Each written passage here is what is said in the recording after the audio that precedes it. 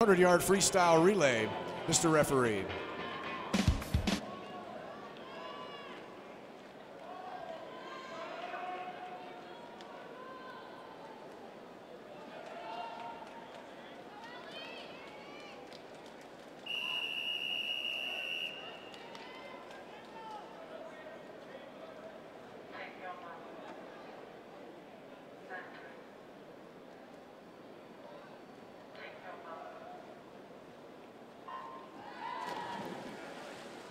Swimming in heat number two, lane one is Lakeside Swim Team. In two, Nashville Aquatics. In three, the YMCA of the Triangle area. Lane number four, Y Smart Aquatics. In five, Swim Mac Carolina. Lane six, the Bolles School Sharks. Seven is Highlander Aquatic Club. And in lane number eight, the Carmel Swim Club.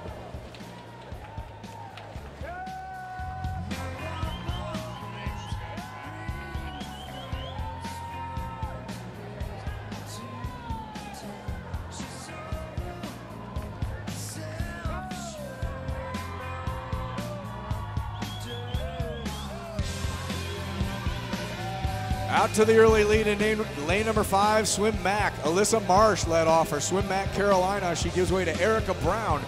Marsh is through in 48.77.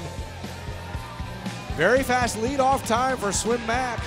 Second belongs to the Nashville Aquatic Club. Alex Walsh kicked it off, passed off to her sister Gretchen Walsh.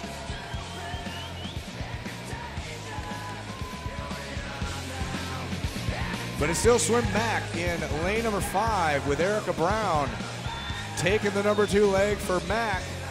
Second is still the Nashville Aquatic Club. Third might be Lakeside. Looks like Lakeside could be in third. Lane number one. Also, we're watching lane number six, the Bolles School. Awaiting the exchange now for Swim Mac. Christina Lappin, as she dives in, she's got the lead for Swim Mac. Second is Lakeside now, moving up on the strength of Asia Seidt. It's Kennedy Lohman swimming for Lakeside. She'll go against Allie Rabb for Nashville.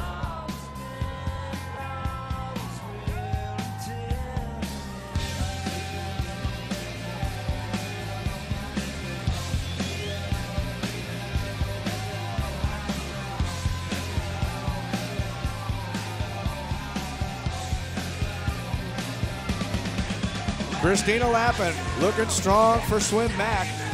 As she comes back down the pool, it's going to be up to Jessica Merritt to try to close the deal for Swim Mac Carolina. Mac's about two body lengths in front.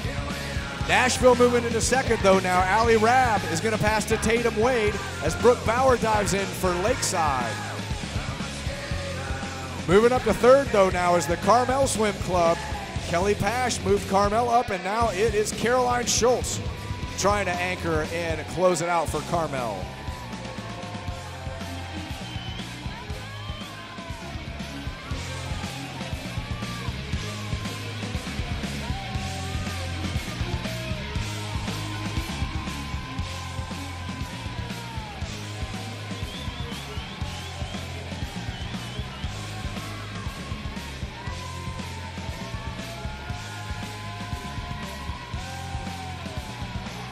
Coming to the wall, Swim Mac, Carolina. Lane number five is going to grab the win. 316.62 second goes to Nashville, and third is Lakeside.